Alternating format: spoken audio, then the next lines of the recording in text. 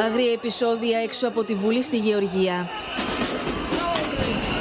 Ισχυρές αστυνομικές δυνάμεις ορμούν, χτυπούν και συλλαμβάνουν διαδηλωτές.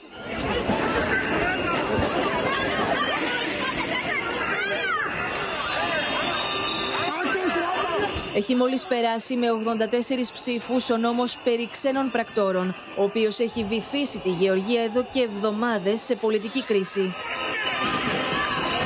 Η λαϊκή οργή στην Τυφλίδα ξεχυλίζει. Διαδηλωτές προσπαθούν να σπάσουν τα κυκλειδώματα της αστυνομίας. Και χτυπώντας τα με μεταλλικούς φράχτες τα καταφέρνουν.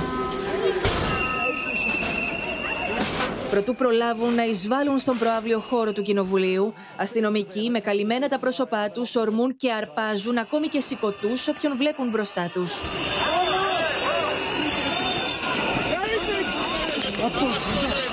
Οι δραματικές εικόνες καταγράφονται και εντός του Κοινοβουλίου με βουλευτές της κυβέρνησης να πιάνονται σχεδόν στα χέρια με εκείνους της αντιπολίτευσης.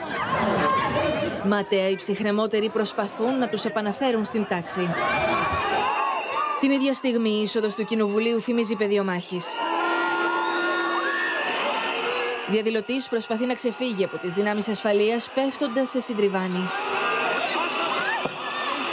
Δεν τα καταφέρνει και οι αστυνομικοί τον ακινητοποιούν και τον συλλαμβάνουν ξανά. Δεκάδες χιλιάδες πολίτες της πρώην Σοβιετικής Δημοκρατίας φωνάζουν ναι στην Ευρώπη, όχι στη Ρωσία. Yes to Europe, no to Russian law. We want Europe, we want freedom, and we are Georgian. This is our country. Καταγγέλουν ως αυταρχικό το νομοσχέδιο που σκοπό έχει να κυνηγήσει τους επικριτές της κυβέρνησης όπως έκανε και ο Βλάντιμιρ Πούτιν στη Ρωσία το 2012. Οι αστυνομικές δυνάμεις ασφαλείας προσπαθούν να διαλύσουν το πλήθος. Σπρώχνουν ακόμη και τον ανταποκριτή τους Sky News. Yeah, we're being moved off, as you can see, on, en masse by considerable force by police. They uh, were up the streets, effectively an army of police uh, security forces. Λίγη ώρα αργότερα όμως οι διαδηλωτές επιστρέφουν και πάλι στην είσοδο του Κοινοβουλίου και δηλώνουν αποφασισμένοι να συνεχίσουν μέχρι τέλους τις διαδηλώσεις τους. Κατά του, όπως λένε, ρωσικής έμπνευσης νομοσχεδίου που βαφτίζει ως ξένους πράκτορες εταιρείες και οργανισμούς που λαμβάνουν πάνω από το 20% της χρηματοδότησής τους από το εξωτερικό.